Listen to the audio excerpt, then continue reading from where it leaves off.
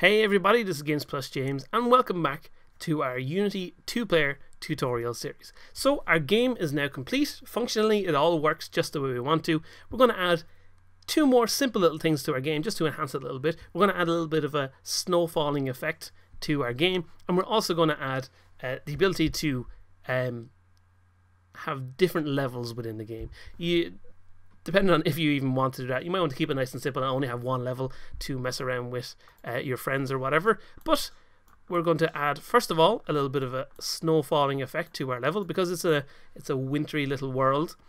Uh, we're going to add very simply and very straightforward. We're going to use our particle effects. So we're going to go to game object particle system.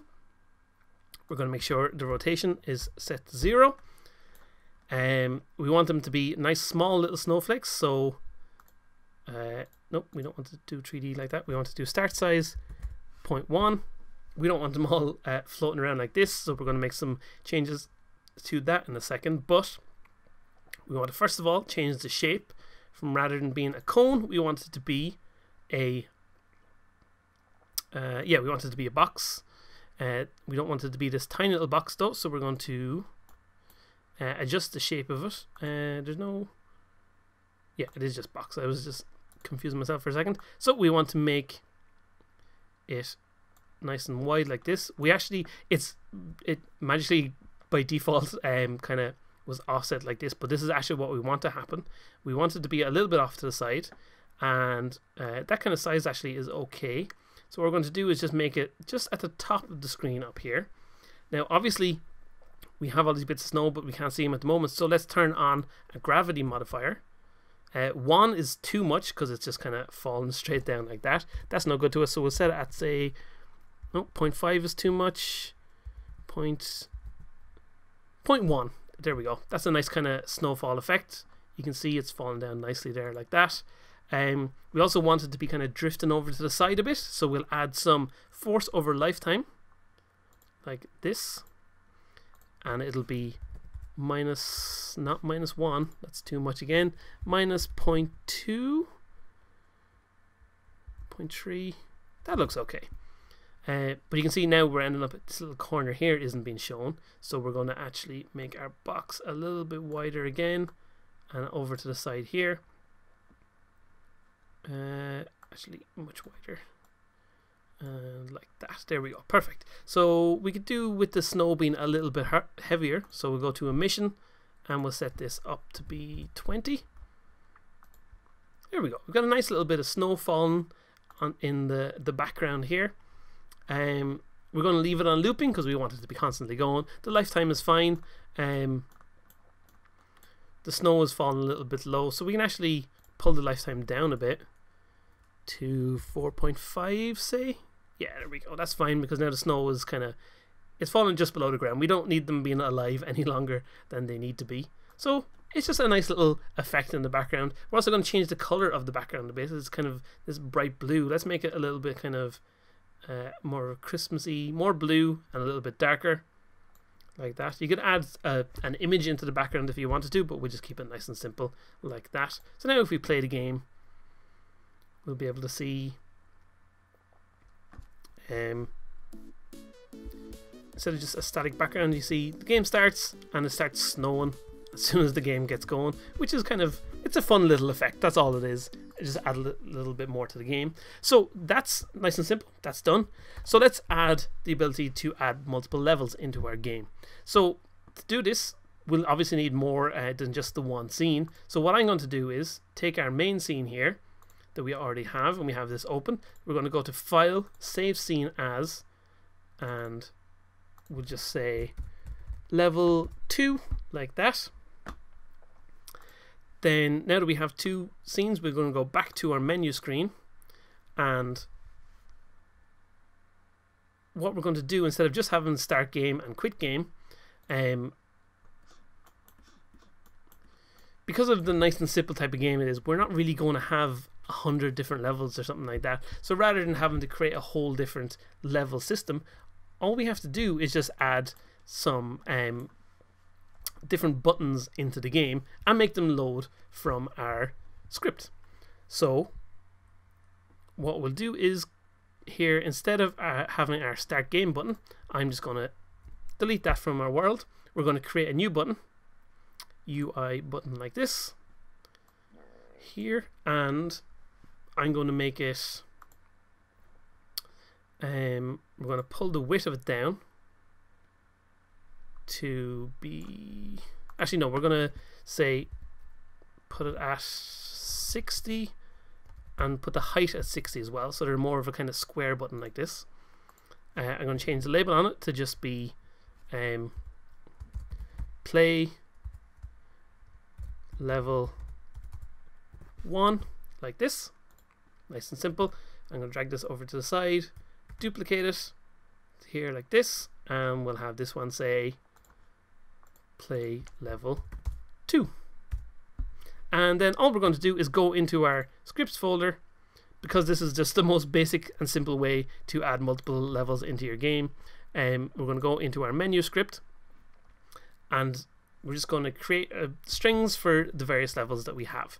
So um, we could create an array of strings, but again, we're not really going to have a crazy amount of different levels in this. You're only going to want, and generally speaking, in any kind of game, especially in a multiplayer game, you're not going to want to have hundreds of levels um, because it'll just add confusion to people and it's harder to remember which levels you enjoy playing on, for example. So we're going to add a second string here, a public string uh, that we'll just call level 2 and we're going to rename instead of using main game scene we're just going to use level 1 so we're going to instead of using start game as a function, we're going to use start level 1 and we'll just before we make any changes uh, in our scene manager here we're going to instead of main game scene we're just going to have level 1 like this. What we're going to do then is just copy this paste it in there and just replace level 1 with level 2 and loading scene we'll replace level 1 with level 2 and this is a very simple and kind of straightforward way of scripting this. It's not the most uh, elegant scripting, but the thing is, um, your players aren't going to see your scripts. This script works just as fine as using a variety of arrays or anything like that. But because our, our game is nice and simple, we don't need to have a bunch of arrays to store our levels in and stuff like that and to be able to load um, various different levels. We keep it nice and straightforward and just um, use these simple functions to load our levels. So you can have obviously start level 1, start level 2, start level 3, 4, 5, whatever. And all you're doing is replacing the bit of string that loads each individual level. So we have that change made now. We save that, go back into our game, go to our canvas, let that compile. And I'm going to open our, the scenes we have saved here. Give that a second. There we go. Now we have them open so that we can see the names of our scenes and we make sure that we use the right names. So level 1 will just be main and level 2 will be level 2. Now at the moment we actually didn't set these up to have any difference between them so we'll do a quick little change to level 2 in a second but we need to set up our buttons so uh, we're going to highlight this button and this button scroll down and we're going to once again add a, a function for when we click on it. Drag our canvas into the slot there. For the first button, the function he's going to have is on our menu, start level 1. The second button is going to have the function start level 2. So we'll save that. Let's load up level 2 and make a quick little change to it to make it uh, obvious that we're doing different levels. Actually, just to make it nice and straightforward, let's just uh, take these three, move them up to there, take this one, move it down to here. So it's just an obvious change. This little this little guy is kind of floating around there all over the place, and this thing is a little bit off as well. So we'll just move them there like that. It's just obviously you'd probably want to put a little bit more thought into your level designs than this, but this is just to show us how it's working. So we'll save that, go back to our menu screen, hit play, and now we have level 1 is our standard level that we created. We're going to hit escape to go back. Level 2. Oh, level 2 couldn't be loaded because, of course, uh, as we covered in the previous video, we need to actually add them to the build settings before we do anything like that. So we'll just click and drag our level 2 in there, hit the X button, and we'll hit play again, and this time it should actually run for us just fine.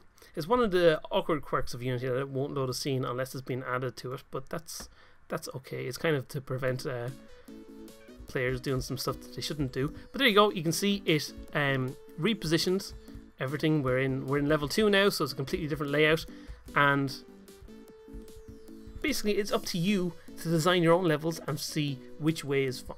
And that's pretty much everything that we've got going on in our game. It's all kind of finished. It's all working fine. So the only thing left to do is go to our build settings. Uh, before we build the game, we want to go to our player settings here and make sure that uh, our company name is whatever you are. I'm James Doyle. We our product name is our Snowball Fight. You can replace the icon with whatever you want. Uh, let's actually use. Uh, oh no, we can't use. We can use the whole sprite sheet if we want, but uh, we won't do that. But you can replace that with whatever you want, and you can change any of these other settings. Um, mess around with them yourself, and you'll see the impact that they have. Uh, but for now, what we can do is hit our build button. We're going to build this game. I'm going to create a new folder here called builds. Uh, we're going to say snowball fight. We're going to let this build. This will take a minute or two to build the game for us, and then we'll have uh, a file that we can send. You can send the game to anyone you want. You'll have your full game here to be able to play and um, have fun uh, on Christmas. So I'm going to let this build and we'll come back and play the game itself. Okay, and now that our game is finished building, we can we have it as a as an exe file. You want to make sure when you um, if you're giving this game to anyone or sharing the game anywhere, you have to include both of these things. It's not just the exe file, you need to include the data folder at the same time. Otherwise, the game just won't work. So let's just run the game here to make sure it all works perfectly fine. Um, we're going to play it in full screen here. And give it a second. We load into the menu, as I said, because we put that as the first scene in the game. And now we have our little two player game fully working just the way we want it to. We can throw our snowballs, we can win our game. Um, and that's basically it. That's all we need. That's our, our two player game all finished. Thanks for watching this series. Uh, if you're interested in other game developments. We have other games uh, tutorial series on the channel and lots more coming in the very near future too. So thanks for watching and I'll see you all very soon.